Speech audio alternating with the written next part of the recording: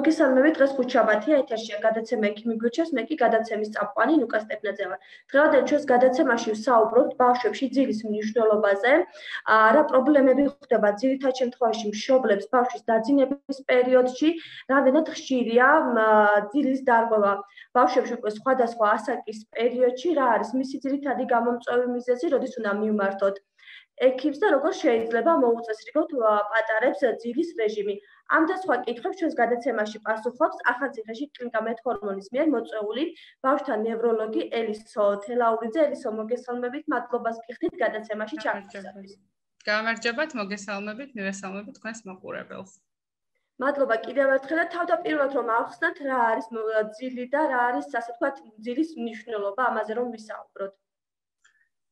ძილი მოგეხსენებათ ადამიანისთვის არის უმნიშვნელო უმნიშვნელოვანესი ფიზიოლოგიური მოთხოვნილება და ცნობილია რომ ხანგრძლივად მიმდინარე ძილის დარღვევა უარყოფითად აისახება ბავშვის ზრდაგანვითარებაზე, იმუნური სისტემის ჩამოყალიბებაზე, ასევე ვთქვათ, გონებრივ განვითარებაზე და სწავლის სირთულეებს იწევს, აქვეითებს მეხსიერებას, ყურადღების კონცენტრაციას. ანუ ძალიან მნიშვნელოვანი ფიზიოლოგიური მოთხოვნილება. ასევე რაც უფრო პატარა ასაკი, ბავშვის და ახალშობილის მით მეტია დღეღამური მინიმალური ძილის ხანგრძლივობა. გასაგებია. და რამდენად ხშირად არის აი ბავშვებში ძილის დარღვევა? აა მინდა გითხრათ რომ ერთ-ერთი ხშირი მიზეზი არის ნევროლოგთან მომართვის ძილის დარღვევის ჩივილი და ამასთანავე ცნობილია რომ ბავშვთა 20-30%-ში ერთხელ მაინც ყოფილა ისეთი ძილის დარღვევა რომელიც საჭიროებს ექიმთან ვიზიტს. დიახ. და რომ აღნიშნოთ ასე ვთქვათ, რა იწევს ასაკთან დაკავშირებით ძილისწულებებს სხვადასხვა ასაკობრივ პერიოდს გულის ხო ამ შემთხვევაში? ანუ აი ესე რომ ახსნათ, ანუ ადრეული ჩვილობის ასაკში ბავშვის ძილის ძირითადი ასე ვთქვათ, წილი მოდის სწრაფ ძილზე. ამის გამო სტრაფი ძილის სტადიაზე ასე ვთქვა. ამის გამო ბავშვის ძილი საკმაოდ ისეთია არასტაბილურია და მყიფია, ხშირად ახასიათებს გამოგვიძებები, არ აქვს რაღაცა ერთი კონკრეტული რუტინა, თუმცა ასაკის ზრდასთან ერთად იზრდება ნელი ღრმა ძილის სტადიის ხანგრძლივობა და შესაბამისად ეტაპობრივად ხდება ამ ძილის რუტინის და ძილის გაზრდა და რუტინის ჩამოყალიბება. გასაგებია. როგორია ძირითადად ძილის საშუალო ხანგრძლივობა ჯანმრთელი ბავშვის შემთხვევაში გულწრფელ სხვადასხვა ასაკის მიხედვით, თავდაპირველად ძილი ახალშობილებში, აი 0-დან 2 თვემდე ბავშვებში. ანუ როგორც უკვე აღნიშნე, რაც უფრო პატარა, თქვათ, პატარა ასაკის არის ბავშვი, მით მეტია დღეღამური ძილის, თქვათ, საჭირო მინიმუმი. აა 0-დან 2 თვემდე რო ავიღოთ, საშუალო ხანგრძლივობა დღეღამური ძილის არის 10-დან 19 საათი, ну საშუალოდ 16 საათი. ამ ამ ასაკში რაღაცა ისეთი რეგულარული מחასიათებლები ძილს არ აქვს. შესაძლოა თქვა ჩაძინების ან ძილის ხანგრძლივობა ვარირებდეს რამოდენიმე წუთიდან რამოდენიმე საათამდე. ანუ ზოგიერთ შეიძლება 15 წუთიანი ძილი ქონდეს, ვიღაცა მთელი საათი ახერხებდეს ამ ძილის შენარჩუნებას. ასევე ცნობილია რომ რაც თუ ბავშვი იმყოფება ძუძუტკვებაზე უფრო ხშირი არის გამოგვიძებების ეპიზოდები, ვიდრე ვთქვათ ხელოვნური კვებაზე მყოფი ბავშვის, რადგან როგორც მოგეხსენებათ, ხელოვნური კვება მოითხოვს საათობრივი რეჟიმის დაცვას, ხოლო ძუძუთი კვებას ეს არ ჭირდება. აა ამ ასაკში ვთქვათ 0-დან 2 თვემდე ასევე შესაძლოა რომ ახალშობილს ძილში კონდეს რაღაცნაირი ისეთი ღიმილი, გრიმასა, ასევე წოვითი რაღაცა მოძრაობები, კრთომები და მშობლებს მინდა უთხრა, რომ ესეთი რაღაცის დაფიქსირება არ შეაშინოს, ეს ითვლება, რომ არის აბსოლუტურად ნორმალური მოვლენა და ნორმის ვარიანტი. დიახ, გასაგებია. და როგორ ხდება, როგორ ვუზრუნველყოთ ახალშობილებში ძილი?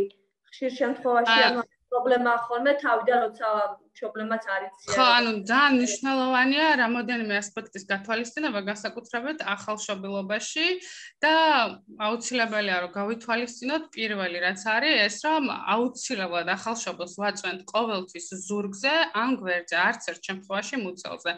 აა ეს ნუ მინიმალური მაგრამ შანსი იმის რომ წლამდე ასაკის რაც არის სიკვდილის შანსი მინიმალური მაგრამ მაინც არსებობს. ამიტომ მიჩნეული არის სხვადასხვა კვლევით, რომ ყველაზე უსაფრთხო არის მოკლედ ზურგზე წოლა და აუცილებლად ვაწვენთ ზურგზე ან გვერდზე, არავითარ შემთხვევაში მუცელზე. ასევე რაოდენ გასაკვირიც არ უნდა იყოს ძალიან რბილი ლეიბი არ არის სასურველი, რბილ ლეიბზე წოლა და ბევრი რბილი სათამაშოების ან ბალიშების საწოლში განლაგება. ასევე ძალიან მნიშვნელოვანია რომ არ დავაფაროთ თავზე ან სახეზე, არ გადავაფაროთ რამე და იგივე საბანსაც როცა ვაფარებთ ეს იყოს გუნკერდის დონეზე და უფრო მეტად ზემოთ არა და ასევე ძალიან მნიშვნელოვანია ოთახში ტემპერატურული რეჟიმის დაცვა, რომ ზედმეტად არ გადავახუროთ და არ გავატყოთ ოთახი, სადაც ბავშვს წინავს. ნუ ძალიან ხშირად არის ხოლმე რომ განსაკუთრებით ეს ახალბედამშობლები არჩევენ ხოლმე რომ ბავშვმა მათთან ერთად დაიძინოს, მაინც და მაინც ეს სასურველი არ არის და თუ რატომ და შესაბამისი რეკომენდაციები შეიძლება ვთქვათ უფრო დეტალურად გაიარონ პედიატრთან ან ნევროლოგთან ვიზიტზე, თუმცა კატეგორიულად არ შეიძლება მშობელთან ერთად იძინებდეს ბავშვი, თუ მშობელი იმყოფება ანტიდეპრესანტების ზემკურნალობაზე, ანუ კატეგორიულად არ შეიძლება ამ შემთხვევაში რომ ბავშვი ეძინოს მშობელთან ერთად. აი ასე მინდა აქ ჩაგეკითხოთ. ხშირია ხოლმე ხელში რომ აძინებენ ანუ თავიდან ხო ეგეც რუტინის ჩამოყალიბებას უშლის ხელს. საბოლოო ჯამში ანუ ბავშვს არ ურთულდება ხოლმე დამოუკიდებლად ჩაძინების მომენტი და შესაბამისად ღამე როდესაც გამოიღვიძებს ასე ვთქვათ ძილის შებრუნებას ურთულებს და ხშირად მშობლის ასე ვთქვათ დახმარებას სჭირდება და ეს მეორადად მშობელთან იწოს ხშირად უძილობას, იმიტომ რომ შობლის დახმარება ჭირდება, შობელსაც უწევს გაღვიძება და თქვათ შობლის გადაღლას. ამიტომ მაინც და მაინც ეს დიდად სასურველი არ არის ხოლმე. თუმცა ხშირად შობლების უმეტესობა ამბობს, რომ უბრალოდ სხვა გამოსავალი არ აქვს და ვერ ახერხებს მეტნაირად. ანუ საუბრობთ ახლა ახალშობილების ძირთან დაკავშირებით 0-დან 2-მდე და რა ხანგრძლივობის უნდა იყოს ჩვილის ასაკის ძილი, ასე თქვათ, 2-დან უკვე 12 თვემდე ბავშვებს. ხო, ანუ ახალშობილობიდან გადავდივართ, თქვათ, ანუ პირველი თვე, როგორც თქვით, დღეღამური ძილის ხანგრძლივობა საშუალოდ 16 საათი, ну 10-დან 19 საათამდე, მაგრამ ну საშუალოდ მაინც 16 საათი. უკვე 2-დან 12 თვემდე ასაკში, ღამის ძილი სადღაც 9-10 საათია და დღის ძილი არის 3-4 საათი. თუმცა აქვე უნდა აღინიშნოს, რომ ეს მახასიათებლები ძალიან ინდივიდუალურია და განსაკუთრებით სიცოცხლის პირველი წლის მანძილზე. მაგალითად, აი 2 თვის ასაკის ბავშვი დღეში შეიძლება სამჯერ 4 ჯერ იძინებდეს, თუმცა უკვე 1 წლის ასაკის ბავშვი ან 12 თვის ასაკში დღის ძილი იყოს 1 ჯერ ან 2 ჯერ. ამიტომ ინდივიდუალურია მაინც და რაღაცა სპეციფიური მახასიათებლები არ აქვს. თუმცა, როგორც უკვე აღვნიშნეთ, ღამის ძილი არის სადღაცა 9-10 საათი და დღის ძილი 3-4 საათი. თუმცა ინდივიდუალურია, როგორც თქვით. ასევე 6 თვის ასაკიდან უკვე ბავშვი ღამის ძილს უფრო მეტად იხანგრძლივებს და შეიძლება აღარ გამოიღვიძოს და თქვათ აღარ მოითხოვოს საკვები ან წყალი. როგორც უკვე აღვნიშნეთ, ბავშვები, ვინც თქვათ დამოუკიდებლად ჩაძინებას არიან შეჩვეული, ღამის ამის გამოღვიძების მომენტში შეუძლია რომ ძილი თვითონ შეიბრუნონ, მაგრამ თუ ეს თქვათ დამოუკიდებლად ჩაძინებას არ არიან მიჩვეული, შესაძლოა შობლის დახმარება დაჭირდეს. თუმცა აი 6 თვის ასაკში როგორც თქვით, უმეტესობა უკვე იხანგრძლივებს ამ ძილს, თუმცა გარკვეულ პროცენტში რჩებიან ბავშვები, რომელიც შეიძლება 3ჯერ ან 4ჯერ გამოიღვიძოს და ესეც ნორმის ვარიანტია, ასე ვთქვათ.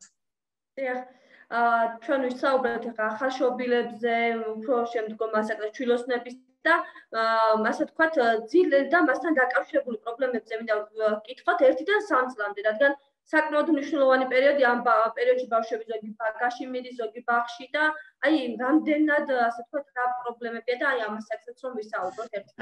ანუ შემდეგი ასაკი უკვე წლიდან 3 წლამ 3 წლის ასაკში ამ დროს უკვე ძილის საშუალო ხანგრძლივობა დღეღამის განმავლობაში არის 11-13 საათი, თუმცა აი უკვე 18 თვის ასაკიდან, ანუ წელიწად ნახევრის ასაკიდან ბავშვების უმეტესობა ამჯობინებს ხოლმე დღის განმავლობაში ერთჯერად ძილს.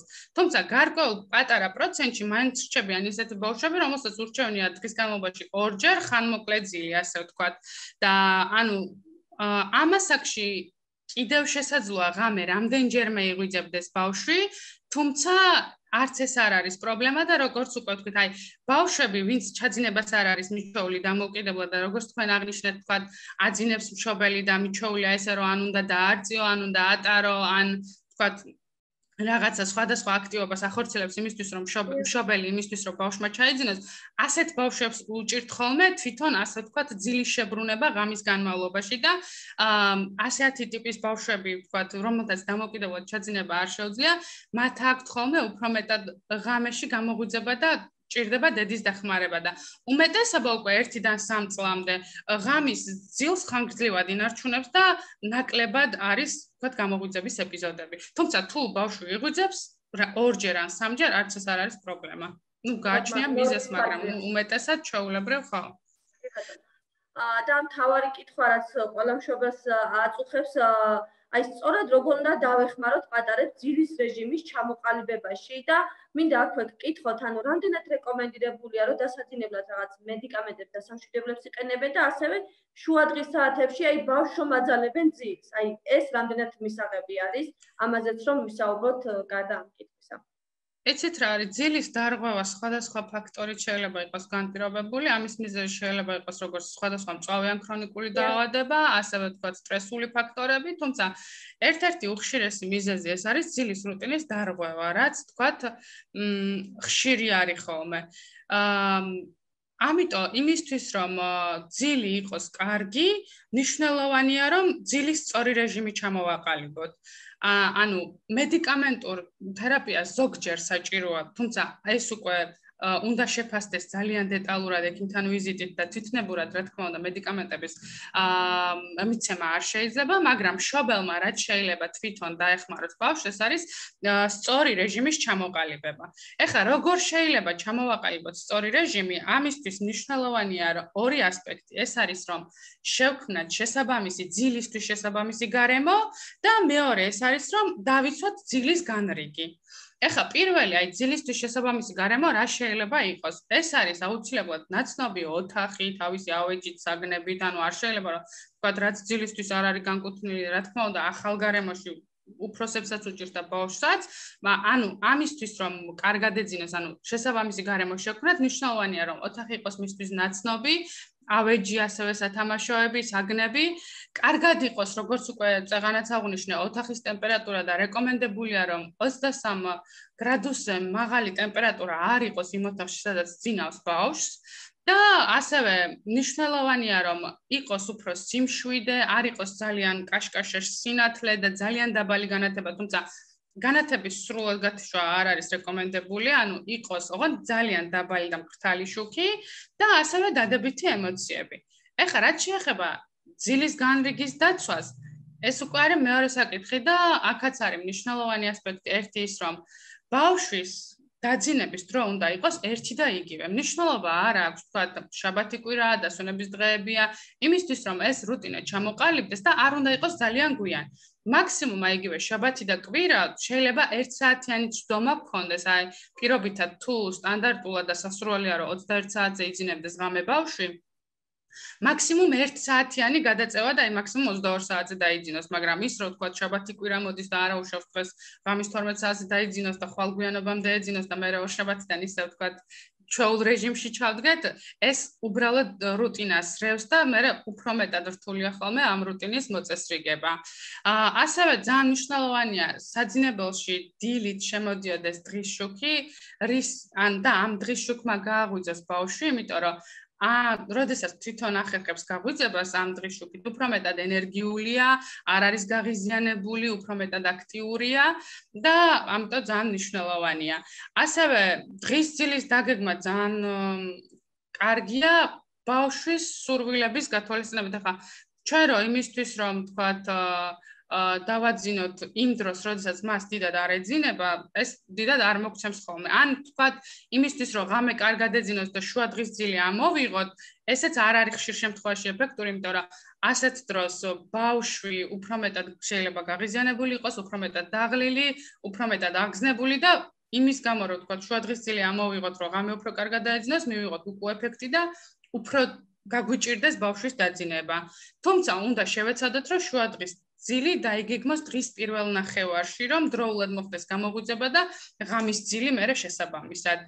ასევე ძალიან მნიშვნელოვანია მაგალითად ძილის წინ რაიმე რუტინული აქტივობების დაგეგმა ეს იქნება დაბანა, ზღაპრის წაკითხვა, მოყოლა, ამბის, ანუ ისეთი ოღონ რომელიც არ გააქტივებს ბავშვს და პირიქით აი რაღაცა ესეთი სიმშვი მშვიდი რუტინა იქნება. ასე ვთქვათ, არ არის რეკომენდებული მაინც და მაინც ბავშვი დღის განმავლობაში, რა თქმა უნდა, უნდა იყოს აქტიური, უნდა ვთქვათ, რაღაცა სახლის გარეთ ეზოში, ვთქვათ, უნდა იყოს ფიზიკურ აქტივობას გულისხმობ ამ შემთხვევაში, მაგრამ არ არის რეკომენდებული ძილამდე 2 საათით ადრე ფიზიკური აქტივობა. ასევე ძალიან მნიშვნელოვანია არ იყოს ტელევიზორი იმ ოთახში, სადაც ძინავს ბავშვს და საერთოდ დაძინებამდე 2 საათით ადრე რაიმე ტექნიკის გამოყენება, ეს იქნება ტელევიზორი, კომპიუტერი, ტელეფონი, ანუ ხშირ შემთხვევაში დღევანდელ ცხოვრებაში ძალიან აქტიურად იყენებენ ხოლმე შობლები ტელეფონად იყენებენ ხშირად ამ ხო და ანუ ეს მანამდვილად არ არის კარგი და მაქსიმალურად უნდა შევეცადოთ რომ ძილამდე 2 საათით 2 ძილამდე 2 საათი მაინც ბავშვს არ ქონდეს ტექნიკასთან, ამ ტიპის ტექნიკასთან შეხება. კიდევ მ როგორც თქვით, აი ჩაძინება, ბავშვი უნდა დავაძინოთ მაშინ საწოლში, როცა ეძინება, მაგრამ სანამ დაიძინებს, რომ მიეჩვიოს, როგორც წეღანა აღნიშნეთ, დამოუკიდებლად ჩაძინებას და აუცილებლად საწოლში, ასე ვთქვათ რა. აა და რო თუ გამოუმუშავებთ დამოუკიდებლად ჩაძინების ჩვევას, ანუ ვაძინებთ მაშინ, როდესაც ძალიან ეძინება, მოშებულია, მოთენთილია, ოღონდ ბოლომდე დაძინებული არ არის. ვაწვენთ მაშინ საწოლში, მას უყალიბდება ჩაძინების, ასე ვთქვათ, მომენტი, რაც შემდგომში მშობლებს ეხმარება ღამე გამოგვიძების შემთხვევაში თვითონ შეიბრუნოს ძილი და ეს ძალიან ეხმარება მშობლს იმისთვის, რომ ღამე ხშირად არ მოუწიოს გაღვიძება და თვითონ მშობლის გადაღლა არ მოხდეს უძილობისგან. აი საკვებთან დაკავშირებით მინდა კიდევ გკითხოთ თუ არის ხოლმე გავლენა აი ვთქვათ როდის დაძინებამდე რამე პერიოდი თუ არის როდის უნდა ჭამოს ბავშვმა? იცით რა არის რა თქმა უნდა ბავშვმა ვთქვათ ახალშობილობის უფრო მოზრდილ ასაკში 1-დან 3 წლამდე მაგალითად. აა ხო ანუ ახალშობილობაში როგორც თქვით ანუ გააჩნია ბავშვი ძუძუტკობაზე თუ ხელოვნურკობაზე ამის მიხედვით იგეგმება მისი კვების რეჟიმი ხოლო უკვე შედარებით მოზრდილ ასაკში აა რა თქმა უნდა, მშიერი არ უნდა დავაძინოთ, მაგრამ ძალიან ნოყიერი საკვების შეთავაზება არ არის რეკომენდებული. ჩვენ შეგვიძლია სუბუქი ვახშამი შევთავაზოთ, მაგალითად რძე და ან რაღაცა სუბუქი ფუნთუშა ან რაღაცა ისეთი, მაგრამ არა თქვა ნოყიერი საკვები ძილამდე ესეც 1-2 საათით ადრე, ანუ შეგვიძლია შევთავაზოთ სუბუქი ვახშამი თქვა ერთ საათ ძილამდე 1 საათის განმავლობაში, მაგრამ კაცრად ესეთი ნოყიერი საკვების შეთავაზება არ არის რეკომენდებული ძილამდე 2 საათით ადრე. გასაგებია და ბოლოს მინდა ვკითხო ჩვენ ვისაუბრეთ რეჟიმის ჩამოყალიბებაზე, მაგრამ აი როგორი უნდა იყოს მაინც ძილისთვის შესაძერის გარემო, კიდევ რაიმე ხომა და ვამატებდით ამასთან დაკავშირებით რა რეკომენდაციებს და რჩევებს მივცემდით მშობლებს. ანუ ერთი რომ აუცილებელი არის რომ ბავშვი ერთი და იგივე დროს იძინებდეს და იღვიძებდეს მიუხედავად შაბათკვირისა დღესასწაულებისა და სვენების დღეებისა ანუ კი, გამონაკლისები არსებობს, მაგრამ შევეცადეთ, რომ ეს ძილის რეჟიმი არ დავარღვიოთ, თქვა სხვადასხვა დღესასწაულის გამო, რადგან იწევს ამ ძილის რუტინის დარღვევას და მე მისი თქვა ისევ თავიდან ჩამოყალიბება საკმაოდ რთულია. ეს ერთი, მეორე ვაკონტროლებთ აუცილებლად ტემპერატურულ რეჟიმს, სადაც ძინავს ბავშვი და შევეცადოთ, რომ 23 გრადუსზე მეტი არ იყოს ტემპერატურა იმ ოთახში. აა ტექნიკას კაცრად გაგვაქვს ოთახიდან ტელევიზორი და არ ვიყენებთ ძილამდე 2 საათით ადრე, ну, ეს არის ის ძირითადი, ვიყენებთ თქვა რუტინულ აქტივობებს, ეს იქნება დაბანა ციგნის კითხვას ყოფრის მოყოლა, ძილისთვის განწყობა, ვუმუშავებთ ჩაძინების მომენტს და ბავშვს ვაწვენთ მაშინ, როდესაც მას ეძინება და არა როცა დაძინებულია უკვე, რომ გამოუმუშავდეს ეს ჩაძინების მომენტი და ღამე გამოგუძების შემთხვევაში მოახერხოს თვითონ შეიბრუნოს ბჭყალებში ეს ძილი. მე მგონი ეს არის ის ძირითადი. თუმცა არსებობს აი იმისთვის რომ შობელმა აწარმოოს და უფრო მეტად მიხვდეს არის თუ არა რაიმე სირთულე და უფრო კარგად შეაფასოს ბავშვის ძილი სანამ მივა ექიმამდე, როცა რაღაც არ მოწონს და რაღაცა შეეჭვება, არსებობს ძილის დღიურის წარმოება, როცა შეუძლია რამდენის როდის დაიძინა, როდის გაიღვიძა თქვა თარიღების მიხედვით არის ეს დაალაგებული ინტერნეტში ალბათ მოიძიება ამის შევსება და ამასთან ერთად, თქვა ამ დღიურთან ერთად ექიმთან მისვლა უფრო მეტად შესაძლოა ინფორმატიული იყოს და უფრო მეტად დაეხმაროს ექიმს. სხვა შემთხვევაში თუ თქვა ჩვენი თქვა რუტინის შემთხვევაში, რაც რაზეც ვილაპარაკეთ, ამის მიღმა რაიმე ჩივილი აქვს ბავშვს, რა თქმა უნდა, ის ყურადღება მისაქცევია, თუ თქვა მისი გამოგვიძებები იქნება, თუ სხვადასხვა ძილის დარღვევები, რაც არ ჯდება ნორმის ვარიანტში, რაზეც დღეს ვისაუბრეთ, აუცილებელია რომ შობელმა მიმართოს პედიატრს, ამ ბავშვთან ნევროლოგს და დეტალურად მოხდეს უკვე უშუალოდ შეფასება არის თუ არა ეს ძილის დარღვევა და თუ არის რა ტიპის.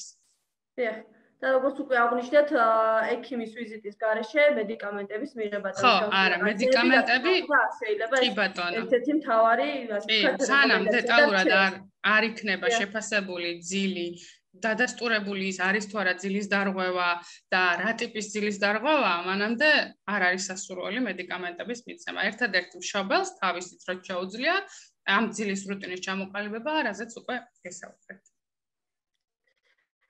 გასაგებია ძალიან დიდი მადლობა გადაგიხადოთ რომ გამოდეთ ჩაერთეს მე გადაცემაში ასეთ მნიშვნელოვან საკითხზე. ვისაუბრეთ ძალიან ბევრი მშობლის პრობლემა არის დღეს ბავშვებში ძილის პრობლემა. მე კი ჩვენს მსმენელს შევახსენებ რომ ჩვენს გადაცემაში ვსაუბრობდით ბავშვებში ძილის დარღვევასთან დაკავშირებით ზოგადად რა სირთულეებს აწყდებიან ასე ვთქვათ მშობლები როგორ უნდა დავარეგულოთ ბავშვების ძილი სწორად ასე ვთქვათ როგორ მართოთ. და ამ და სხვა საინტერესო კითხვებზე კი ჩვენს გადაცემაში ვპასუხობდა კლინიკა მეთორმონის მიერ მოწვეული ბავშვთა ნევროლოგი ელისო თელაურიძე ელისო მადლობა და დაგემშვიდობთ მადლობა თქვენ. ჯანმრთელობას გისურვებ მადლობა ძალიან დიდი. აა კარგად ბრძანდებოდეთ ჩვენ კი მომდევნო ხუთშაბათს ახალი თემით შევხვდებით ნახვამდის